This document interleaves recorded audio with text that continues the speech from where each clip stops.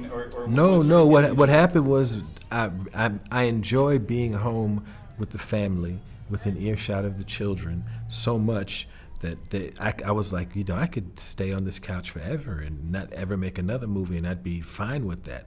But I didn't want to leave it on a dramatic. The last thing I did was a dramatic film.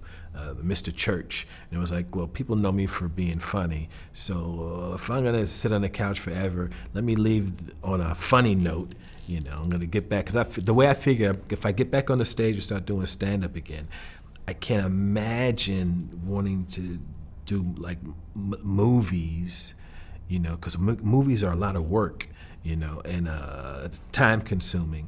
And I, I, I feel like once I get back on the stage, I could get whatever creative juices flowing. I could jump up there and do that whenever I want to do.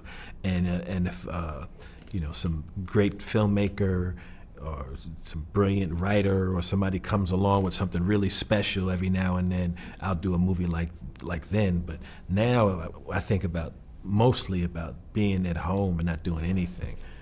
That's my favorite thing to do. Nothing. well, I'm not censoring myself when I say get an idea and just say it in the phone, but uh, I, I I'm aware of uh, the climate, you know, in the world now.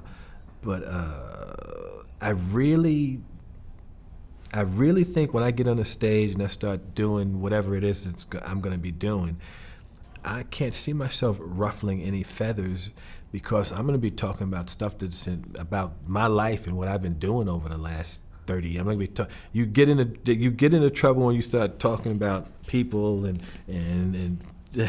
but I'm talking about me. There's no trouble to get in because my show is going to be all about me and how I see things and how I felt about something. You know.